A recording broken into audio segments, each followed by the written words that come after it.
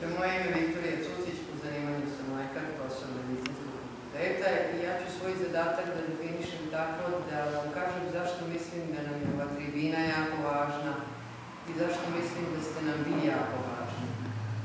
Ono što sam uspela da sagledam to je da ovde pored Komisije za rodnu ravnopravnost i gospode iz MUPA koje se prepoznaju po uniformama koje nose, čujem da su tu predstavnici obrazovanja, predstavnici radnih političkih stranaka, predstavnici ženskih organizacija, na nešto što bi rekli da čini dinamiku ili srž jedne lokalne zajednice. Da bi zdravstveni radnik koji ovim protokolom dobio jedno snažno oruđe za rad, mogao da ga koristi na najbolji način. Njemu je potrebno da mu neko pomogne da raspolaže informacijama kojima bi popunio protokol. Ono zbog čega ste nam vi jako važni, zato što svojim prisustvom vi demonstrirate da govorite o tome da je ovo zajednica koja smatra da je nasilje nedozvoljeno. Da je ovo zajednica koja smatra da žena nije neko žensko pitanje, nego je 50% stanovništva ove teritorije, kao i cele zemlje, kao i čitavog čovečanstva. To je priča ne o nekoj ženskoj grupaciji i o ženskom rodu, nego o polovini čovečanstva. To je priča o deci koja rastu u porodicama, koje isto tako mogu da snose posledice nasilja. Znači, vaše prisustvo i vaše uključivanje u to govori o jednom pozitivnom stavu koji će mladi čuti kroz obrazovanje. Nasilje je nedozvoljeno uopšte, nasilje u porodici je nešto što je strahota i užas i krivično delo i sa ogromnim posledicama po zdravlje. To će čuti svuda u svakom mestu. U programima lokalne zajednice, kad god se donose programi lokalne zajednice, kad god se govori o zdravlju lokalne zajednice, kad se nabrajaju preporuke, prljava mješava, loša higijenizacija, nemamo ovo, nemamo ono, imamo li nasilje i šta činimo protiv nasilja u ovoj zemlji, u ovoj sredini, u ovoj opštini, šta svaka struktura može da uradi u okviru svog programa, šta svako istaknuto lice, prepoznatljivo, lice sa kojim se, mladi čovek identifikuje, može da izgovori na lokalnoj televiziji. Ja sam muškarac koji misli da je nasilje nad ženom nedozvoljeno. To je poruka zbog koje ste nam vi jako važni.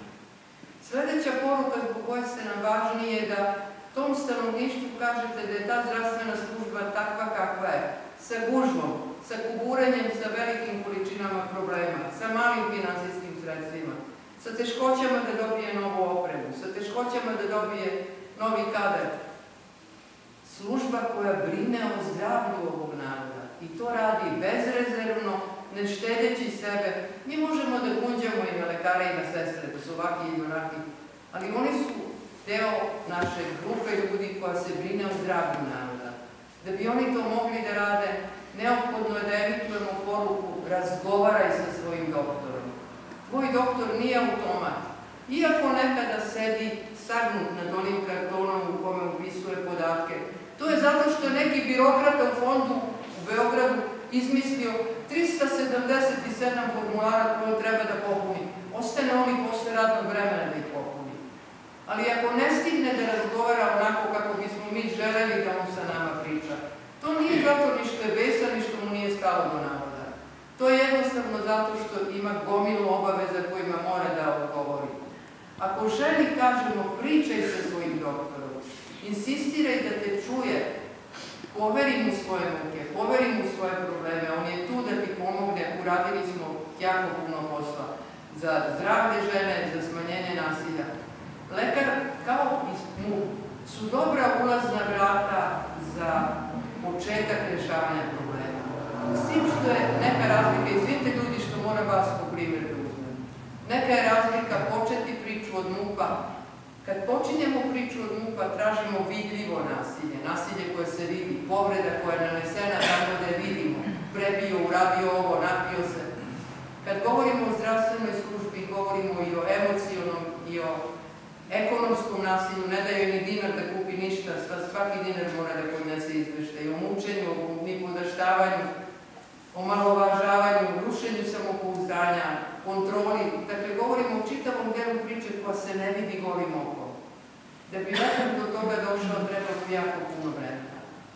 Vi svojim vaspitnim delovanjem, vi svojim pozitivnim delovanjem u sredinama u kojima ste, pomažete da stanovnik to nekako poveri lekaru da uđe kroz ta vrata i kaže ovdje ću tražiti pomoć. I ako mu je danas lekar prezauzet i ne može da ga čuje, zakazat će mu sljedeći put. Znači, ono zbog čega ste vi važni, važni ste zbog podrške zdravstvenom sistemu, važni ste zbog poruke koju emitujete, ovo je sredina koja neće tolerisati nasilje. Mi smo obučili jedan relativno veliki broj zdravstvenih radnika. Kad pogledamo šta smo radili, mi smo nekako 2000 ljudi prošli su naše seminare.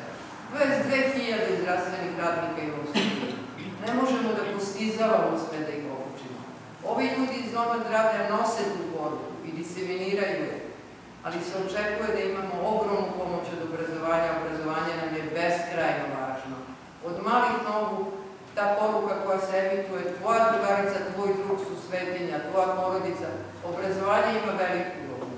Svaki sistem ima svoju ulogu. Dakle, pomozite da to bude zajednički zadatak jedne lokalne zajednice. Onda će protokol biti ispunjen, onda će organi kojima je to posao da procesuiraju te takve nasilnike, procesuirati jednostavnije. A ako ostanemo zatvoreni, čutimo o nasilju, pokrivamo ga, zataškavamo, ne razgovaramo o tome, stidimo se da o tome pričamo. Mislimo da je žena kriva što je žrtva nasilja. Ako povećavamo njenu nestabilnost i njenu nesigurnost, nismo završili posao. Sigurno se vaše prisustvo o tome govori da ovo neće biti sredina koja će to raditi. Hvala